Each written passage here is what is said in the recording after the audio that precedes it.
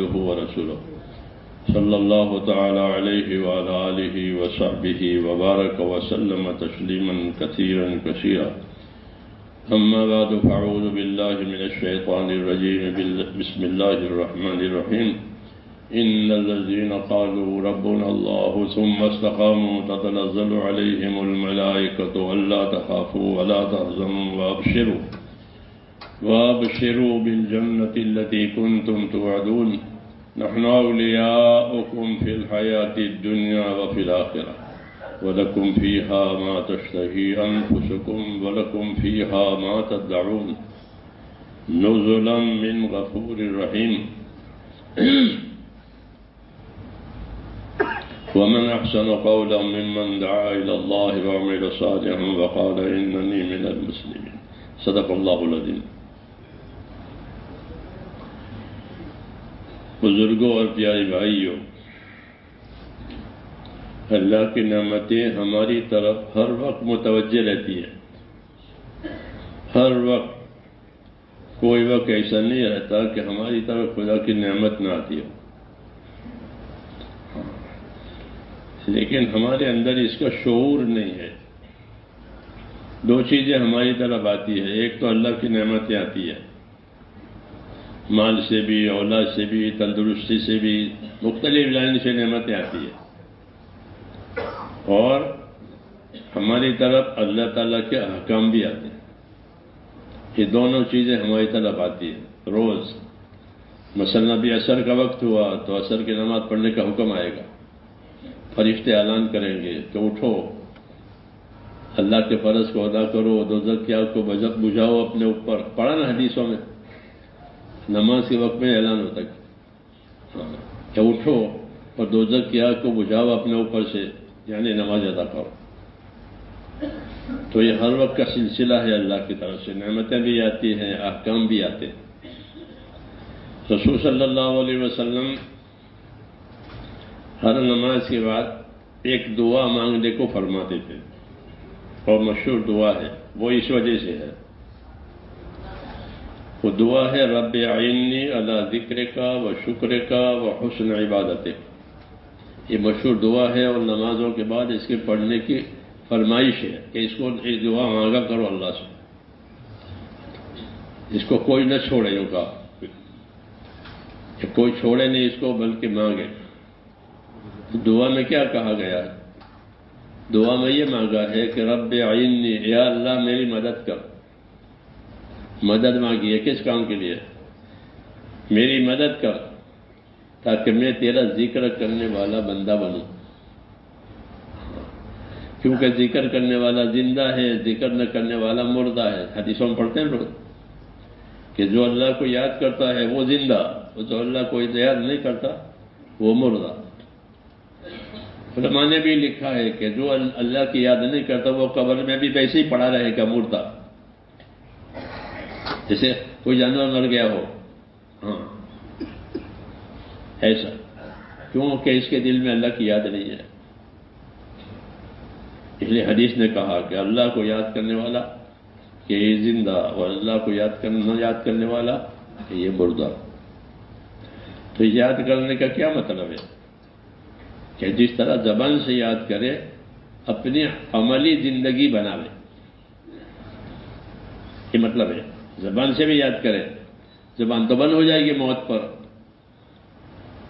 मौत पर जबान बंद हो जाएगी। तमाम ताकतें जो मौत से पहले काम करती थी, वो खत्म हो जाएगी। देखना, बोलना, सुनना, चलना, फिरना, खाना भी सब बदन की तमाम ताकतें खत्म। अब जो कुछ दिल में भरा हुआ होगा, वो सामने आएगा। और दिल में उस वक्त भरता है कि जब आदमी अपने आप को उसका पाबंद करे। इसलिए हुक्म है कि अपने आप को खैर के कामों के पाबंद करो। हज़रत उमर रदी अल्लाह तु इसकी ताकीद करते थे लोगों को कि अपने आप को खैर के कामों के आदि बनाओ। जैसे लोग मोबाइलों के आदि हो गए ना? हाँ अब उन्हें चैन नहीं पड़ता। हाँ देखकर सोते हैं, उठ के देखते हैं।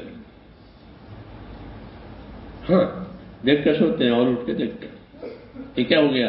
कि दिल ने एक ताल्लुक ले लिया। हाँ, एक गलत चीज़ का ताल्लुक ले लिया। हाँ। और इतना ही नहीं है बल्कि इसके ताल्लुक से बहुत चीज़ें उसको याद है। हाँ। तो ये हमारे ऊपर एक हुज्जत साबित हुई हाँ। कि तुमको कोई हदीस, कोई रिवायत तो याद नहीं है और नंबर याद है? जी हाँ। कि हदीस तो याद नहीं है? तो जब क्यामत में बात होगी कि तुमने जो बातें जानी थी, उस पर क्या अमल किया? तो इसको तो हदीस ही याद नहीं रही, अमल क्या करेगा? हाँ। तो ये बातें मेरे दोस्तों, मैं इसलिए नहीं कह रहा हूँ कि कोई आपकी बुराई करनी मुझे। नहीं, मुसलमान का तो इकराम करते हमारे तबलीग में कि हर मुसलमान का इकराम करो कि उसके दिल में कलमा है। मैं तबलीग में ही कहते हैं, मौलाना इलिया साहब कि, हर मुसलमान का इकराम करो, चाहे कितने ही। गुनेगार पता नहीं कल को क्या हो जाए, कल को वली भी बन सकता है। हाँ आज गुनेगार है, फांसी फाजी है, कल को वली बन सकता अल्लाह उसको वली बना दे। क्योंकि उसका दिल अल्लाह के हाथ में है। हाँ। इसलिए कोई मुसलमान हल्का नहीं है। हाँ। हाँ ये ज़रूरी है कि हर मुसलमान अपनी कीमत समझे। मुसलमान की कीमत क्या है मालूम है? क्या सारी दुनिया कुफर से भर गई, सिर्फ़ एक मुसलमान रह गया। पर वो अल्लाह अल्लाह करता है, नमाज़ भी नहीं पढ़ता। लेकिन अल्लाह अल्लाह अल्लाह अल्लाह तो इस एक मुसलमान के अल्लाह अल्लाह करने की वजह से क्यामत नहीं आएगी। दुनिया बाकी रहेगी। इतनी कीमत है। ईमान की, मुसलमान की, जी हाँ। जब एक भी अल्लाह के नाम लेने वाला नहीं लेगा तो अल्लाह दुनिया को बाकी रखेंगे, नहीं बाकी रखेंगे। खत्म करो इसको। अब ये कूड़ा है। तो अल्लाह की, अल्लाह के नाम की, अल्लाह के काम की, मेरे दोस्तों, बड़ी अल्लाह के यहाँ कदर है। यही जानना है और इसी को ज़िंदगी में लाना है। वरना दुनिया के जितने सामान हैं, उसकी अल्लाह के यहाँ कोई कीमत नहीं है। ये अलग बात है कि लोग उसको कीमती समझते हैं। तो छोटा बच्चा खिलौने को कीमती समझता है। वो खेलने के लिए है। हाँ बड़े बड़े आदमी गए, खेलने के लिए। वो लेकिन वो उसके लिए लड़ेगा, रोएगा, जिद करेगा। हाँ वो खिलौने के लिए। तो ऐसे ही लोग हैं। कि इनको असल चीज़ की कीमत न होने की वजह से वो दूसरी चीज़ों पर रिश्ते हैं, दूसरी चीज़ों पर टूटते हैं। अल्लाह की दावत यह है कि जो चीज़ अल्लाह ताला के यहाँ पसंदीदा है, उसको ले लो। और वो क्या है? कि अल्लाह ताला का राज़ी हो जाना। कि अल्लाह राज़ी हो गया। तो रिदवान मिन अल्लाह अकबर, अल्लाह का राज़ी हो जाना सबसे बड़ी बात है, यूँ कहते हैं। कि अल्लाह राज़ी हो गया। अल्लाह खुश हो गया हमसे। कि बस सारी कायनात तेरे साथ है, सारी चीज़ तेरे साथ है, अल्लाह की कुदरत तेरे साथ है। क्यों अल्लाह राज़ी है। इसलिए हजूर सल्लल्लाहु अलैहि वसल्लम ने उम्मत को यह रहबरी दी है कि अल्लाह से अपना ताल्लुक सही करो। अल्लाह से अपना ताल्लुक सही करो। ऐसा नहीं है कि अल्लाह नेमतें दे, तंदुरुस्ती दे हैं, सब चीज़ें चले, कारोबार चले, और ये अल्लाह को नाराज़ करे। कितना बड़ा जुलम है? कितना बड़ा जुलम? कि अल्लाह तो सब कुछ दे, उसको खुश करे और ये अल्लाह को नाराज़ करे। इसलिए दावत दी गई है। और ये दावत जो है मेरे भाइयों, ज़िंदगी के मकसद ज़िंदगी को मकसद पर लाने के लिए। दीन की दावत ये कुछ चिल्लों के लिए नहीं है, बल्कि ज़िंदगी को मकसद पर लाने के लिए है। दो चीज़ें होती है। एक ज़िंदगी का मकसद, एक ज़िंदगी की ज़रूरत। ये दो चीज़ें हैं। एक ज़िंदगी का मकसद और एक ज़िंदगी की ज़रूरत। ज़िंदगी का क्या मकसद है? तो क्या जिसने ज़िंदगी बनाई है, उससे पूछो कि ज़िंदगी का क्या मकसद है? जैसे कोई दवा बनाता है, कोई दवा का क्या मकसद है? ये किस लिए बनाई है? तो वो बनाने वाला बताएगा कि पीने की है, लगाने की है। जी हाँ। हाँ ये पीने के लिए है, ये लगाने के लिए है, ये बाहर की है, ये अंदर की है। क्योंकि उसने बनाई है। दूसरा नहीं बता सकता। तो अल्लाह ने हमारी ज़िंदगी बनाई है। तो वो बनाने का मकसद भी बतावेगा कि मैंने आपकी ज़िंदगी क्यों बनाई है। तो अल्लाह ने बताया कि मैंने तुम्हारी ज़िंदगी मेरी इबादत के लिए बनाई है। हाँ। बात खत्म हो गई। कि मैंने तुम्हारी ज़िंदगी सिर्फ़ मेरी इबादत के लिए बनाई है। बाकी सारी तुम्हारी जरूरतें मैं पूरी करूँगा। ये भी है। ये कहा कि तुम्हारी सारी जरूरतें जैसे पैदा होते ही बहुत सी जरूरतें पूरी कर दी, आँखें दी, कान दिए, सब दिए। और बच्चा सही सलामत पैदा हुआ तो माँ बाप खुश होते। गूँगा मूँगा बेहरा पैदा होता तो परेशान हो जाते। हाँ? तो अल्लाह ने सारी चीज़ें हमारी बनाई है। अलम न जल्लहु आईन व लिसान व शफतैन व हदैना नजदैन। क्या मैंने उसकी दो आँखें नहीं बनाई है? ये बंदे की। मैंने उसके दो होंठ नहीं बनाए। मैंने इसकी जबान नहीं बनाई। पाँच चीज़ें बताई। पाँच चीज़ें बताइए दो होठ, दो आँखें और एक जबान। कितने हुई? ये क्या? शाह अब्दुल अली साहब मोहदिस दहलवी फरमाते हैं अपनी तफसीर में, अपनी किताब में, कि पाँच चीज़ें क्यों की? बहुत बहुत सारी चीज़ें अल्लाह ने तो बनाई है। कि पाँच चीज़ें इसलिए बताई कि पैदा होते ही इसको पाँचों की ज़रूरत पड़ती है।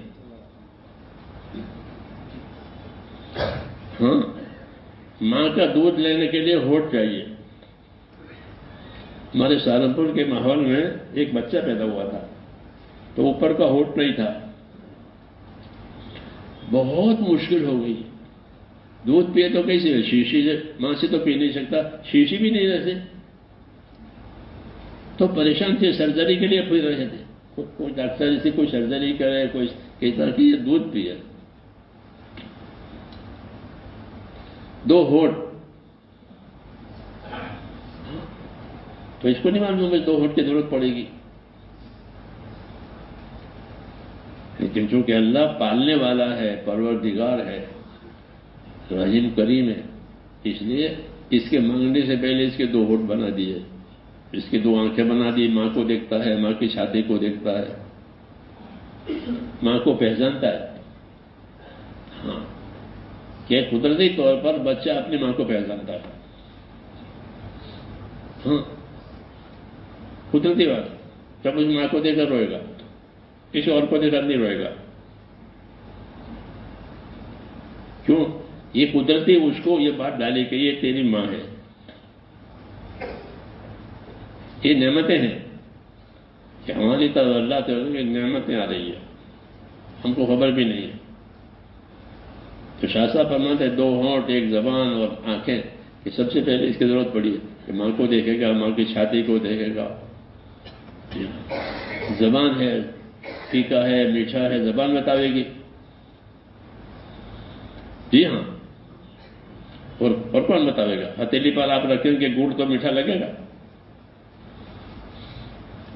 हाँ?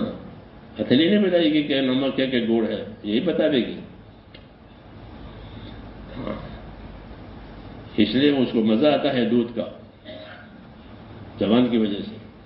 तो ये सब नेमतें हैं।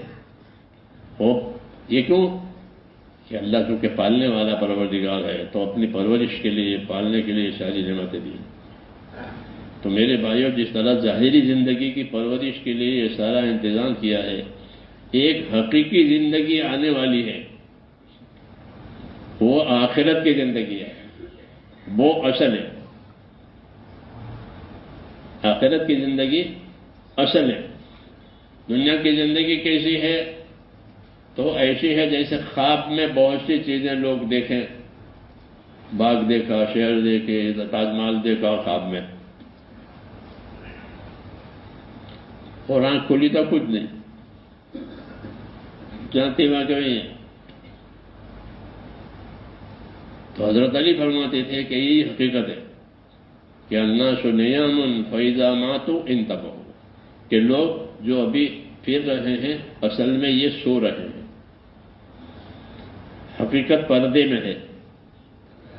जब ये मर जाएँगे तो इनकी आँख खुल जाएगी। जी हाँ अभी पर्दा है, जैसे नींद नींद पर्दा है, चोर चोरी कर गया, और सोने वाले सोते रह गए, होता नहीं सा आग लग गई, सोने वाले सोते रह गए। क्या भाई कैसे हो गई थे और वो खुला रह गया था, गैस का चूल्हा। तो आग लग गई। जब जागे तो पता चला। पता फरमाते लोग सो रहे हैं। जब मौत आएगी तो पता चलेगा क्या हुआ, क्या कामयाब हुआ, नाकाम हुआ, क्या हुआ। तो वो असली ज़िंदगी है, आखिरत की ज़िंदगी। उसको बनाने के लिए ये ज़िंदगी दी ये ज़िंदगी बना देने वाले ने ये कहा। कि मैंने तुम्हारी ज़िंदगी ये जो दी है, वो तुम्हारी आखिरत बनाने के लिए दी है। अब जो इससे आखिरत नहीं बनाएगा, वो खोट में उतरेगा। हाँ। वो खोट में उतरेगा। हदीसों में है कि दुनिया बाज़ार की तरह है। बाज़ार में लोग कारोबार करते हैं। खोट, किसी को खोट हो गई, किसी को नफा हो गया। जो नफा हो गया जिसको, उसकी उम्मीदें पूरी हो जाएगी। कोई शादियाँ हो जाएगी, मकान बन जाएँगे, वो जो कोर्ट आई है तो बाद मरता वो मरने के लिए तैयार हो जाता है कोर्ट की वजह से। हाँ ज़िंदा ज़िंदा रहना पसंद नहीं करता इतनी सारी कोर्ट कैसे बर्दाश्त होगी? हाँ तो फरमाया कुल्लुन्ना से जब यबदू फबाय नफ्सहू पे कोहा मोत कोहा हर आदमी की सुबह शाम होती है तो वो गोया अपनी ज़िंदगी को एक कारोबार पर लगाता है। जैसे लोग में माल लगाते हैं। कारोबार पर। फिर खोट भी होती है, नफा भी होता है। ऐसे कि ज़िंदगी की सलाहियतें लग जाती है। फिर वो सलाहियतें लगने के बाद बाज लोग खोट में होते हैं बाज लोग जो है नफे में होते हैं। तो जिसने अपनी दुनिया से आखिरत बनाई, वो नफे में रहा। वो जिसने दुनिया से आखिरत नहीं बनाई तो वो खोट में है। ये मसला है कि वो खोट में है। इसलिए कहा कि कोई अपने आप को खोट में न उतारे। ये, ये दुनिया की ज़िंदगी बाज़ार है। नफे का सौदा करे खोट का सौदा न करे।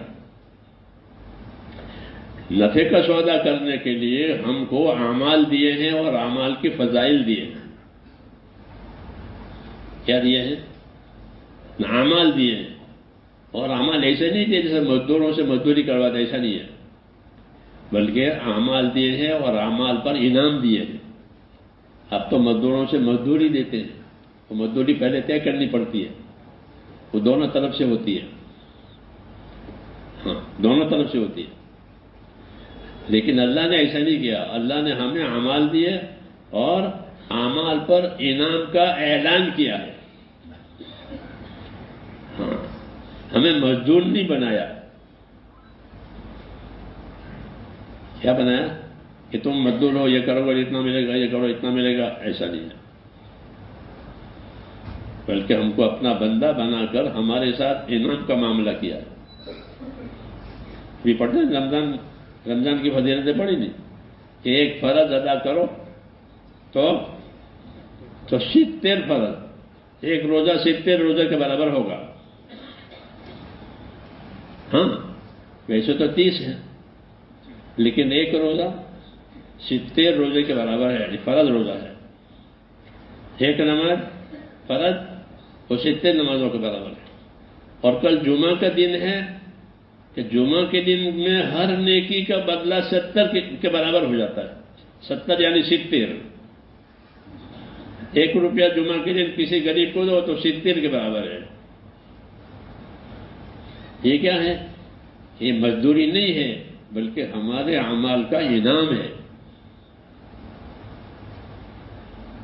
हमारे अमाल का इनाम एक के सत्तर।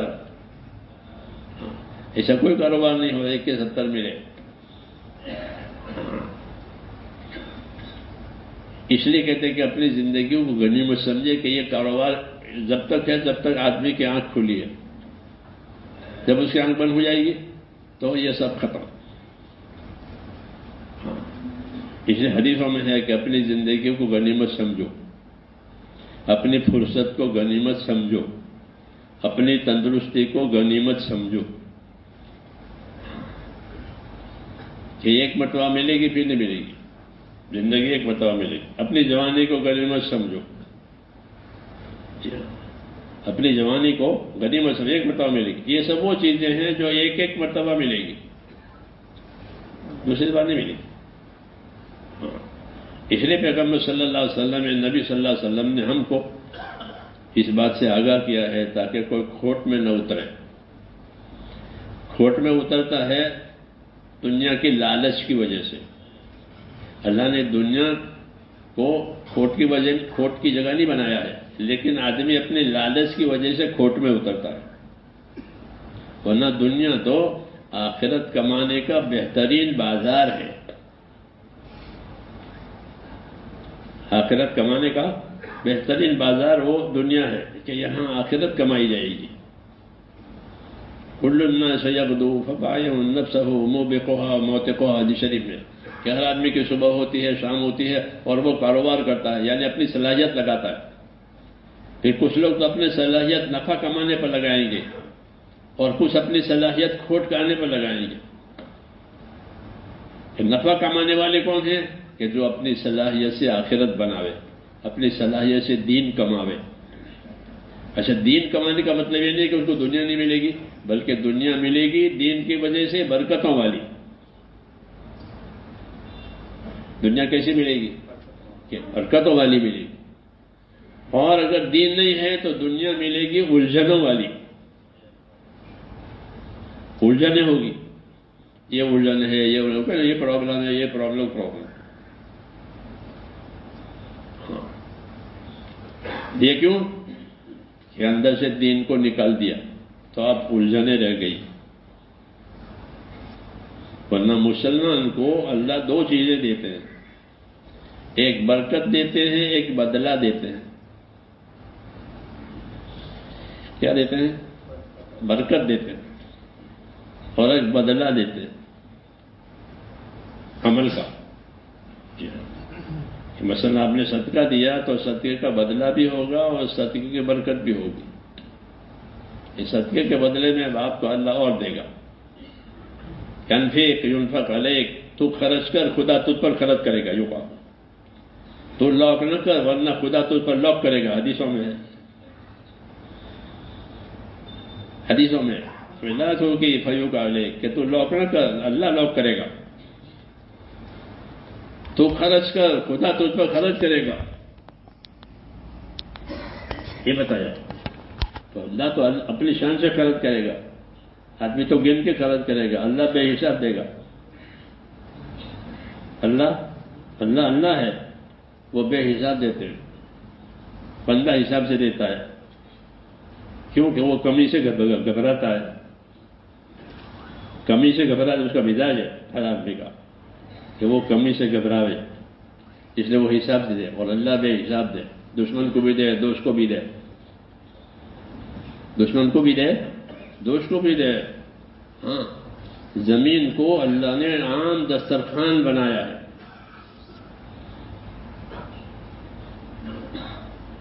ज़मीन अल्लाह का आम दस्तरखान है।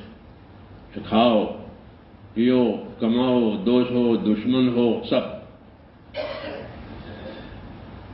जी हाँ अल्लाह का नाम न ले तो भी अल्लाह दे उसको अल्लाह का नाम ले उसको भी दे अल्लाह का नाम न ले उसको भी दे जी हाँ क्यों कि अल्लाह ताला पालने वाला है तो पालते हैं जी हाँ कोई ज़रूरी नहीं कि नाम ले उसको पाले और नाम ले उसको न पाले ऐसा नहीं होता बल्कि अपने जिम्मे लिया है अल्लाह ताला ने परवरिश करना।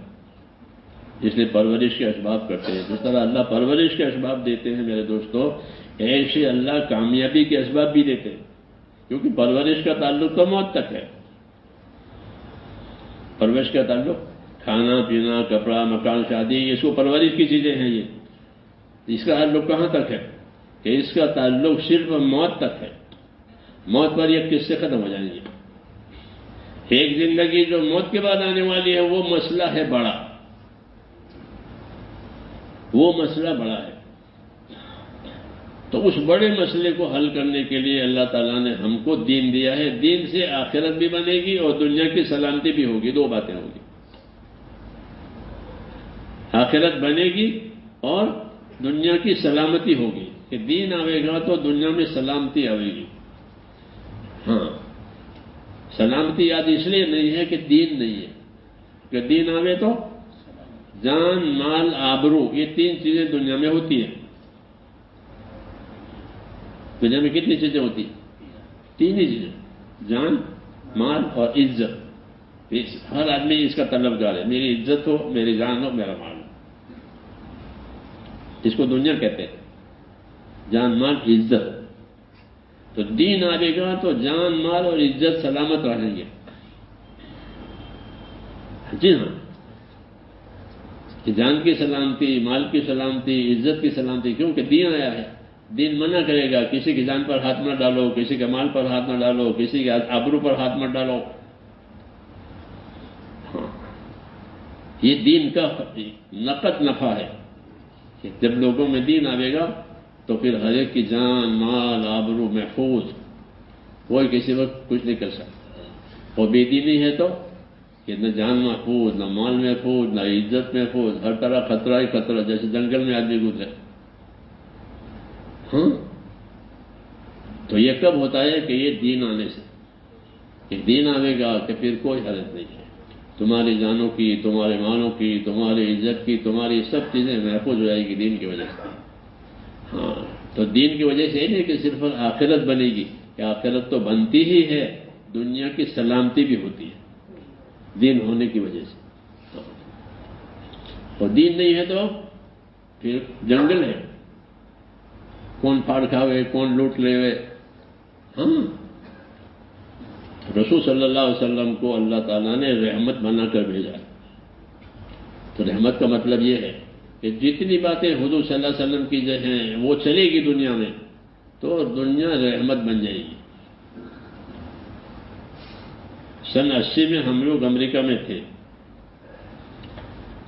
साल की जमात थी हमारी। वहाँ काम नहीं था उस वक्त 1980 में। भेजा था हमको साल की जमात में, और भी दूसरे सारे मुल्कों की जमातें आई दुनिया से। और काम हुआ। और इज्तमा हुआ। पहली दफ़ा इज्तमा आसमान के नीचे हुआ। वरना तो हॉल, उन मुल्कों में कोई हॉल किराया पर लेकर के शादी भी करते हैं, इज्तमा भी करते हैं, जो भी हो। यह इज्तमा बड़ा तो दुनिया भर के साथी पहुँच गए। और आसमान के नीचे हुआ। बारह हज़ार आदमी जमा हुए।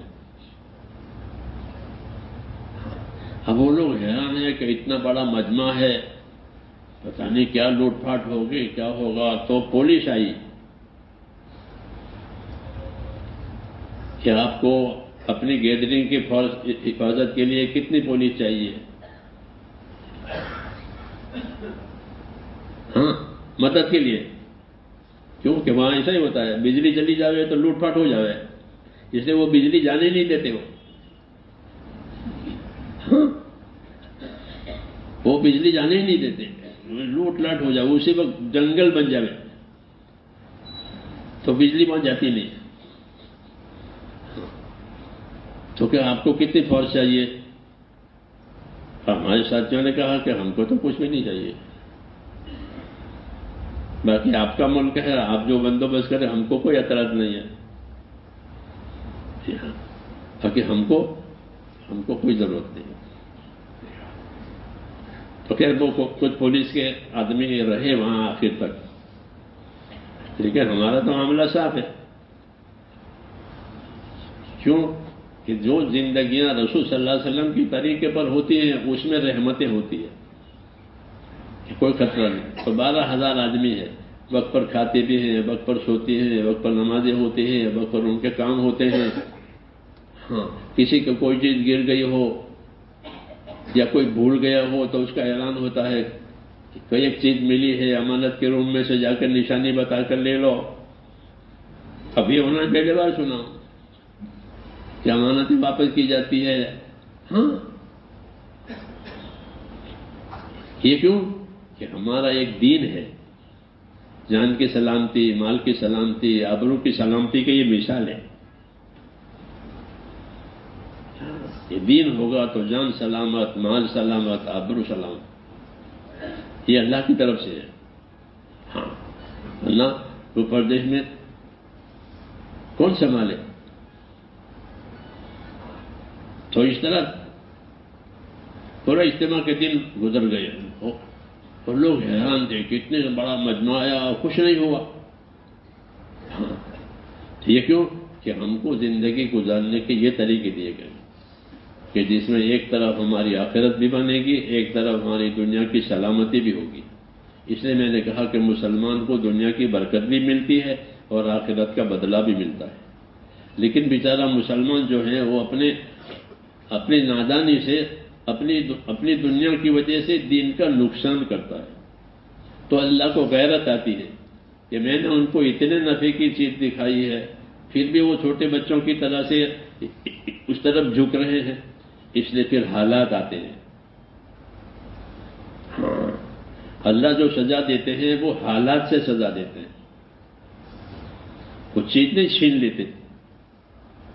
खिलाफ लाइसेंस, जैसे पुलिस वाले लाइसेंस छीन लिया। ऐसा नहीं करेंगे।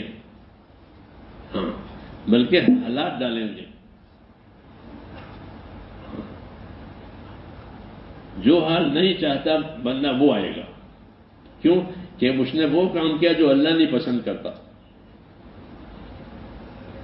हाँ इसने वो अमल किया है, वो बात की है जो अल्लाह पसंद नहीं करता। तो इस पर वो हाल डालेंगे जो ये नहीं पसंद करता। तो हालात का ये है राज। इसलिए हजूर सल्लल्लाहु अलैहि वसल्लम ने ये बात फरमाई कि मन असलह मा बेन व बेन अल्लाह, असलह अल्लाह मा बेन व बेन खल्क ही कि जो लोग अपना और खुदा का मामला ठीक कर लेंगे तो अल्लाह उनका और दुनिया वालों का मामला ठीक कर देगा। ये बात बताइए कि जितने हालात हैं, उसका इलाज ही यही है कि अल्लाह राज़ी हो जाए। अल्लाह राज़ी हो गया तो सारे खजाने, सारी चाबियाँ अल्लाह के हाथ में है। हाँ। खुशी की चाबियाँ, गमी की चाबियाँ, परेशानियों की चाबियाँ, राहतों की चाबियाँ, ये सब अल्लाह के हाथ में है, क्योंकि हालात का मालिक अल्लाह है।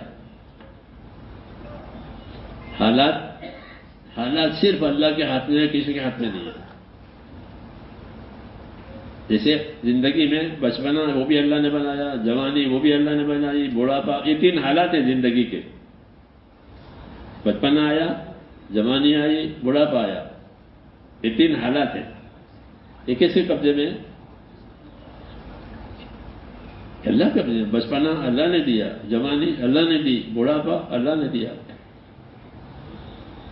ये दलील है, ये मिसाल है कि तुम्हारे हालात तुम्हारे अल्लाह के कब्जे में है, तुम सोचते नहीं हो, वफी अनफुसे को मफला तुम से तुम अपनी जातों में गौर नहीं करते। अल्लाह कहते तो तुम्हें पता चले कि तुम्हारे हालात का ताल्लुक तो अल्लाह से है। दुनिया के मालों से, दुनिया के मरतबों से, दुनिया की चीज़ों से, हालात के बनने का कोई ताल्लुक नहीं है। वो तो ऊपर से है। क्या? ऊपर से है। हाँ दो चीज़ें हैं। मखलूक भी अल्लाह की, फैसला भी अल्लाह का। मखलूक किसकी? क्योंकि वही मखलूक का खालिक है। और कोई खालिक नहीं है, और कोई पैदा करने वाला नहीं है। तो मखलूक सारी अल्लाह की है। तो फैसला भी अल्लाह का है। खैर का फैसला, शर का फैसला, राहत का फैसला, बीमारी का फैसला, तंदुरुस्ती का फैसला, खोट का फैसला, नफा का फैसला, ये ऊपर से आता है। अला अलाहुल खल को वल अमर। याद रखो, मखलूक भी अल्लाह की, फैसला भी अल्लाह का। इसे हयात भी अल्लाह की, मौत भी अल्लाह हमारे कब्जे में नहीं है कब तक हयात है, कब मौत है, कि नहीं, जिसने पैदा किया उसका फैसला। मौत का फैसला है तो मौत हो जाएगी। हयात का फैसला है तो कोई मान नहीं सकता। अला खल को अमर याद रखो फैसला अल्लाह के हाथ में है। हाँ। और मखलूक भी अल्लाह की है। अब अल्लाह के मखलूक में अल्लाह के फैसले चलेंगे। हाँ। ये अलग बात है कि वो फैसले नज़र आएँगे दूसरे रास्ते से। क्योंकि अल्लाह अल्लाह तो नज़र आते नहीं है। हाँ, तो फैसले दूसरे दूसरे रास्तों से नज़र आएँगे। इसलिए आदमी गौर नहीं करता। वसन असल फैसला आता है ऊपर से। शाबान की पंद्रहवीं रात में फरिश्तों को वो फैसलों की सारी फाइलें दी जाती है। पंद्रहवीं शाबान को। कि देखो, दुनिया में ये फैसला करना है। गिरानी लानी है, महँगाई लानी है, सस्ताई लानी है, बीमारी लानी है, तंदुरुस्ती लानी है।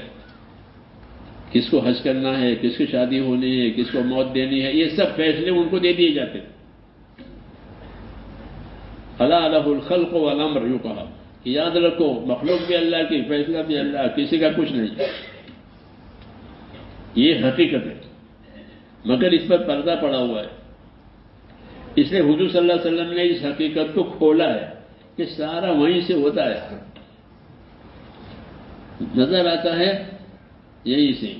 जैसे पानी में सूरज नज़र आवे, पानी में चाँद नज़र आवे, तालाब में देखे तो तालाब में सूरज भी नज़र आवे ताले में चाँद भी नज़र आ रहे तो क्या चाँद सूरत पानी में है? या ना, पानी में नहीं है चाँद सूरज वो तो ऊपर है। नीचे नज़र आवे। तो चाँद पानी में नहीं है। जी हाँ और सूरज पानी में नहीं है। तो नज़र आता है, ऐसे ही यहाँ नज़र आता है, अब होता है ऊपर से।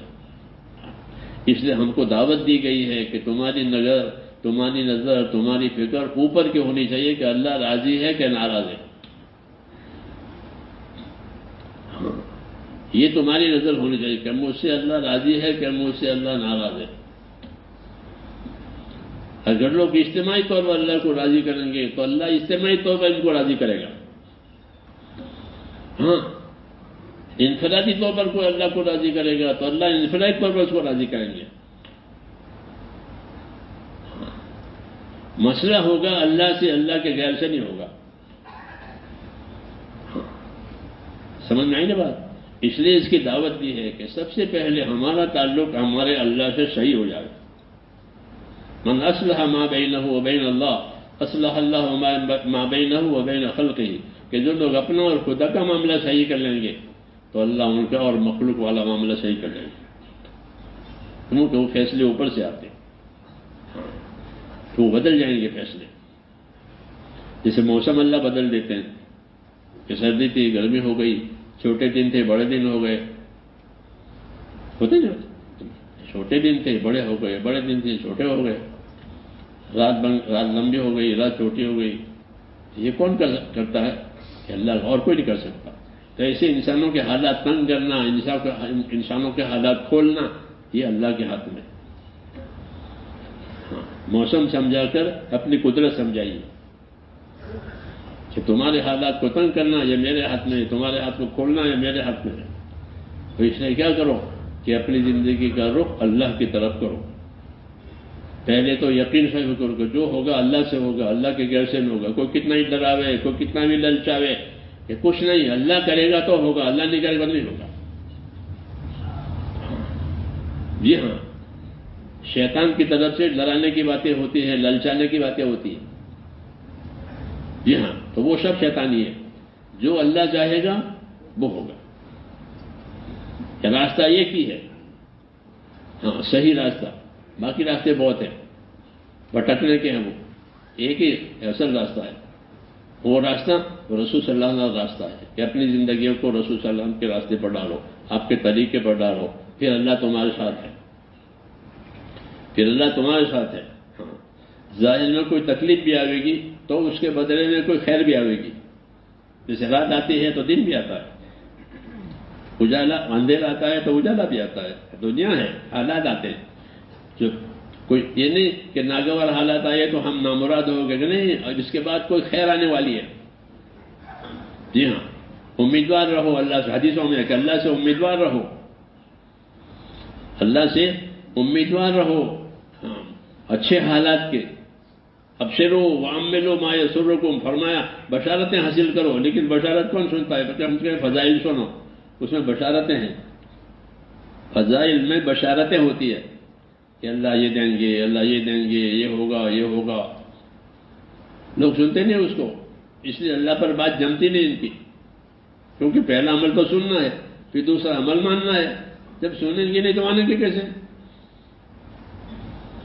इसलिए मेरे दोस्तों, अल्लाह की सुननी है, फिर अल्लाह की माननी है कि इसमें सारी खैर है।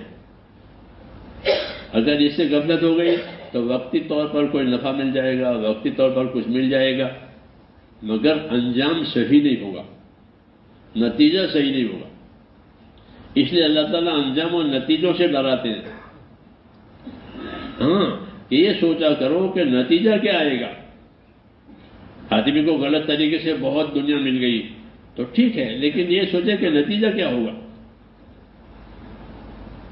अकल अल्लाह ताला ने नतीजा सोचने के लिए दी है। जानवर को अकल नहीं दी थी, वो हर जगह मुँह मारता है, फिर डंडे भी खाता है लोगों के। हाँ क्यों अकल नहीं है? अल्लाह ने हमको अकल दी है तो वो पाबंद होने के लिए दी है। इसलिए चालाकियों के लिए अकल नहीं दी है। पाबंद होने के लिए अकल दी है। कि अपने अंजाम, अपने नतीजे से पाबंद रहो ताकि नतीजा सही आवे हाँ। और उसके लिए फिर अल्लाह ने नबियों को, रसूलों को भेजा, ताकि सही रहबरी करें। कहीं ठुकरावे नहीं, रास्ता भूले नहीं। इसलिए दो चीज़ें मेरे दोस्तों हमारे जिम्मे है। एक, अपने आप को हक बात का पाबंद करना। कि जो चीज़ हक है, अल्लाह ने जिसका हमको हुक्म दिया है, इसके पाबंद बनो। इसके पाबंद रहने में अगर नुकसान भी आवे तो नुकसान बर्दाश्त करो। जैसे लोग परहेज, परहेजी का खाना खाते हैं अच्छा नहीं लगता। मेरा मेरा ऑपरेशन हुआ था अमेरिका में तो वो खाना आवे। ऊपर लिखा नो शुगर नो सॉल्ट ऐसा लिखा वो खाना है। यानी इसमें नमक भी नहीं है, इसमें शक्कर भी नहीं है। लिखा हुआ है था परहेज परहेजी का खाना है ऑपरेशन हुआ है। तो वो खाना पड़ता था। तो खाया तो नहीं जाता था, लेकिन कुछ ना कुछ खाना पड़ता था। क्यों भाई? ये भाई इलाज हो रहा है। फिर इलाज हो गया। तो ऐसे है कि अल्लाह ताला कुछ चीज़ों की पाबंदी डालेंगे, वो इलाज के तौर पर है। परेशान करने के लिए पाबंदी नहीं डाली है। बल्कि हमारे इलाज के लिए पाबंदी डाली है। फिर उसके बाद कि तुम्हारी ज़िंदगी सुधर जाएगी। अहकाम की पाबंदी से जिंदगियाँ सुधरती हैं। ख्वाहिशों की पाबंदी से जिंदगियाँ बिगड़ती है, ये उसूल है। कि ख्वाहिशात की जितनी पाबंदी होगी, इतनी जिंदगियाँ बिगड़ेगी। ये कायदा है। जरूरतें ज़िंदगी की बढ़ जाएगी, फुर्सतें नहीं मिलेगी।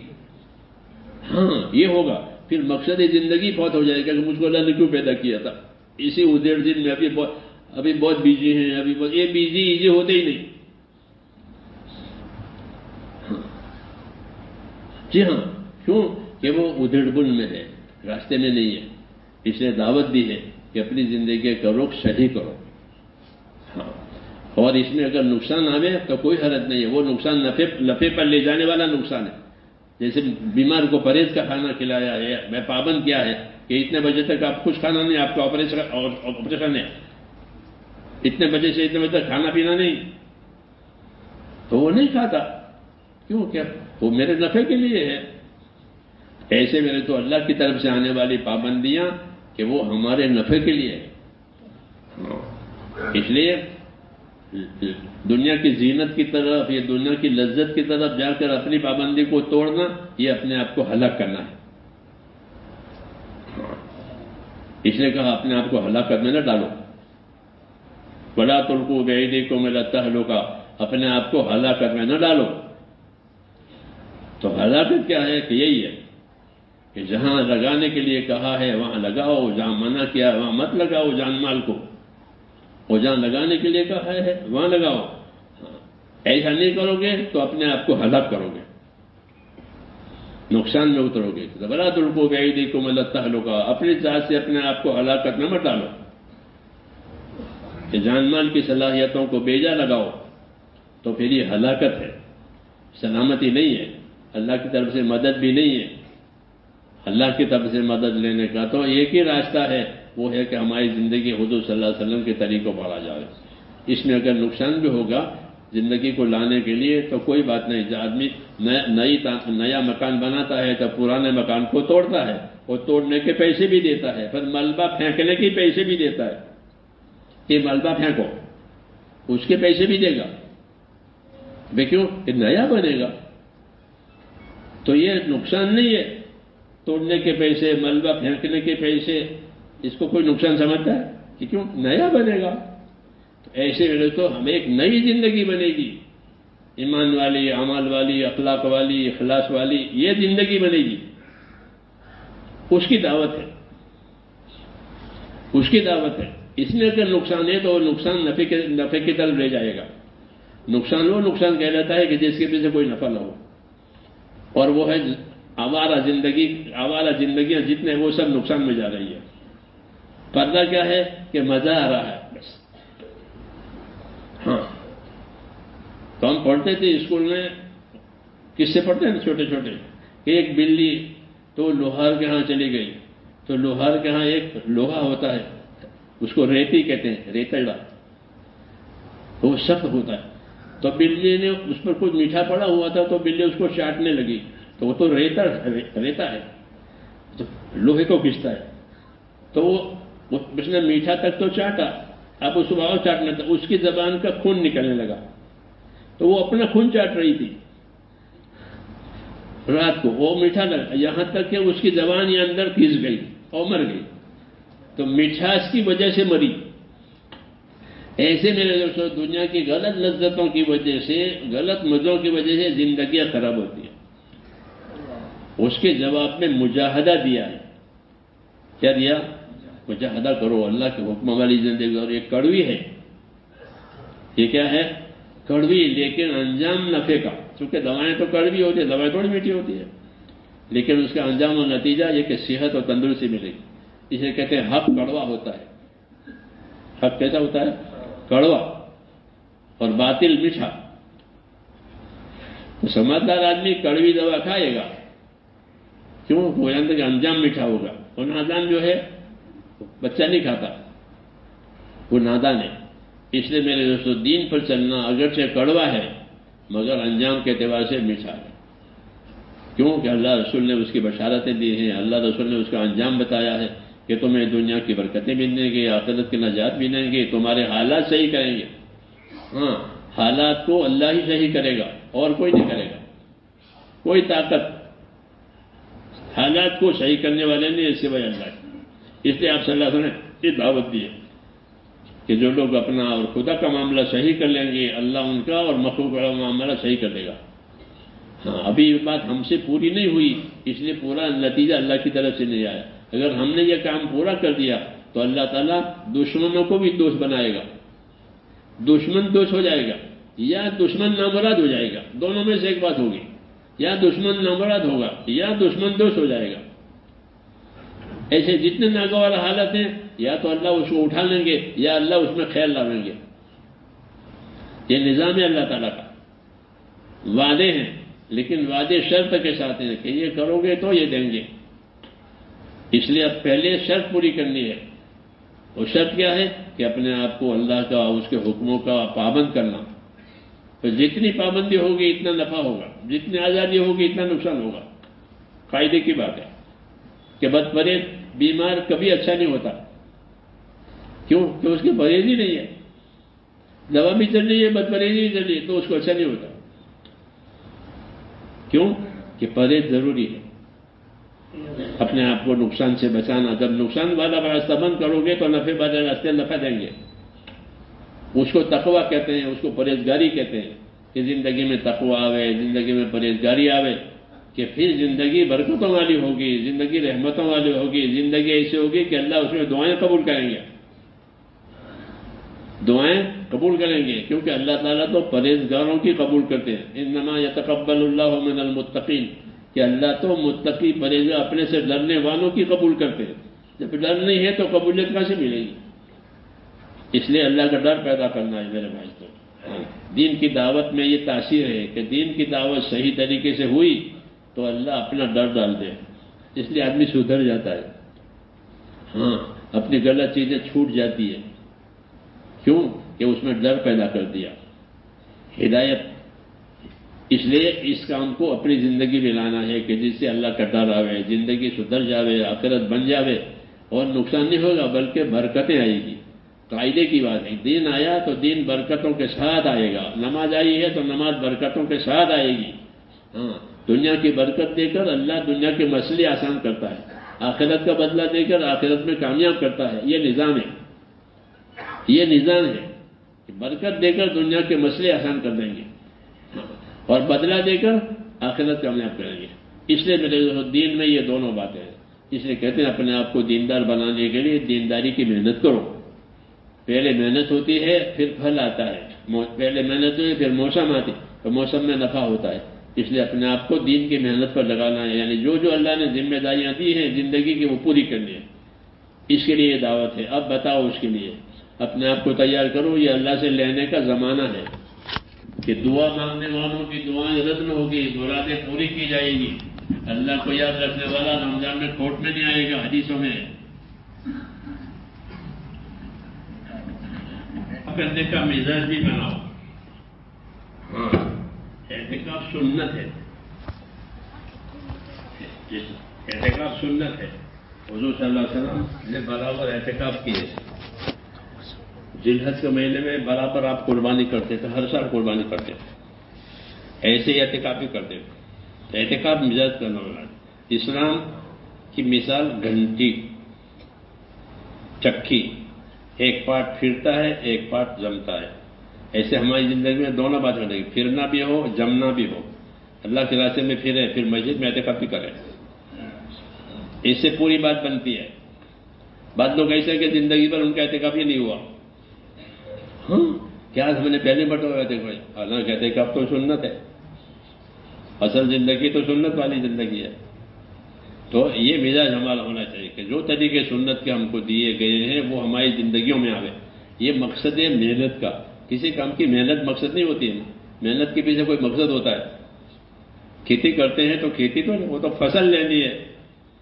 कपास की और इसकी फ़सल लेनी है, उसके लिए मेहनत। ऐसे मेहनत कर लिए कि हिदायत मिल जाए अल्लाह की तरफ़ से। और हिदायत ये कि सुन्नतों पर अमल हो जाए हुक्मों पर अमल हो जाए इखलास के साथ ये मकसद है।